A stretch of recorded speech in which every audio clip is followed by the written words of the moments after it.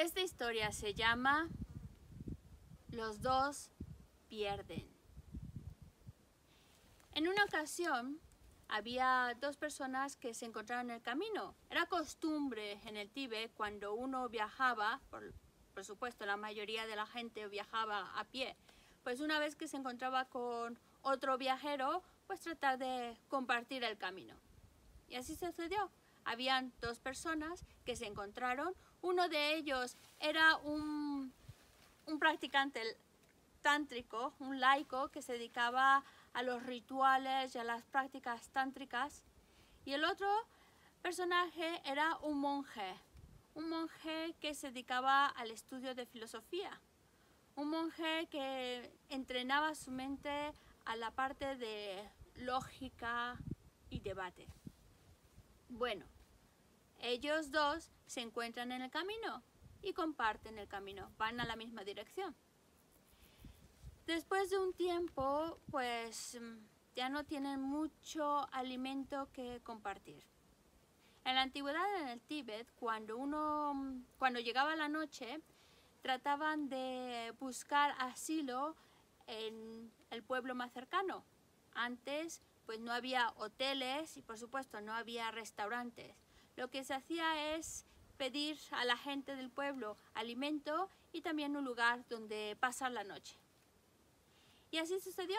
Buscaron un lugar donde pudieron pasar la noche, se les dio un lugar, pero como justamente en ese pueblo pues habían pasado una temporada de sequía, unas temporadas muy malas, pues no tenían mucho alimento que ofrecerles, más que un puñadito de champa. Champa, que es esta harina de, de trigo o cebada tostada que se puede comer tal cual. Y el caso es que les dieron un poco de zampa, pero no era mucho y no iba a alcanzar, la verdad, no iba a alcanzar para, para los dos, para que los dos hicieran una masita con ello y, que, y quedar bien alimentados. No era suficiente. Entonces, lo que a ambos se les ocurrió es pues hacer una sopa.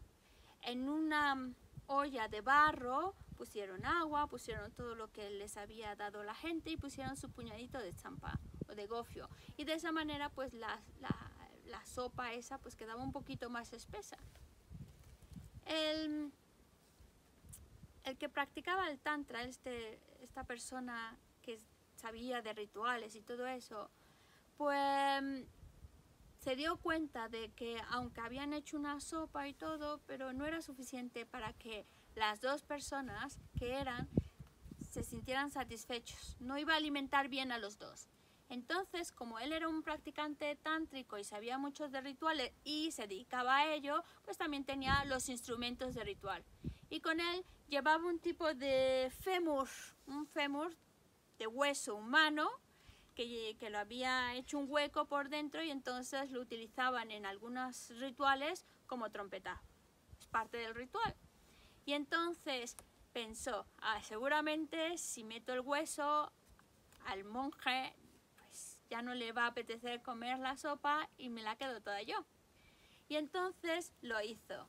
Está la, la olla de barro, cogió el hueso de fémur, lo metió, le empieza a remover dice, yo, como practicante tántrico, transformo la suciedad en pureza una frase nada más que se le ocurrió para quedar bien. Pero claro, el monje que se dedicaba al estudio de filosofía, de lógica, del debate, no era nada tonto.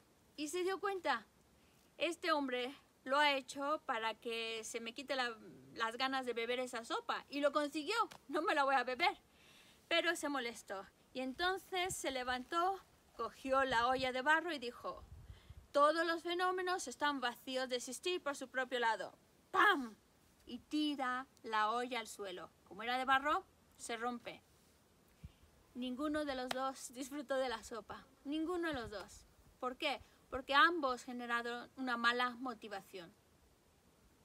Esta historia que Shelamsa no las cuenta para reflejar el hecho de que cuando actuamos mal, movidos por una mala motivación, salimos perdiendo.